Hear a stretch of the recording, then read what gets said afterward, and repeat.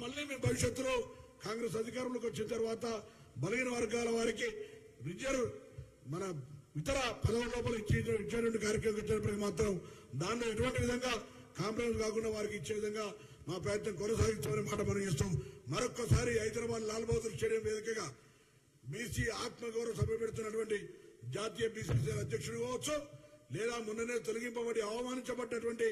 బండి సంజయ్ కావచ్చు కేసీఆర్ ప్రతిపాదిత బీజేపీ అధ్యక్షుడు కిషన్ రెడ్డి గారు కావచ్చు లేదా సాక్షాత్ ప్రధానమంత్రి బీసీ జనగణన ఎందుకు వ్యతిరేకించిండో జవాబు చెప్పాలని సందర్భంగా కాంగ్రెస్ పార్టీ డిమాండ్ చేస్తోంది.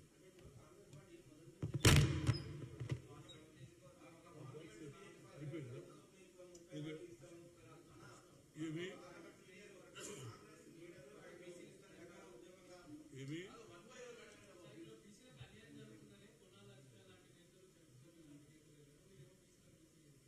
ఏమంటాడు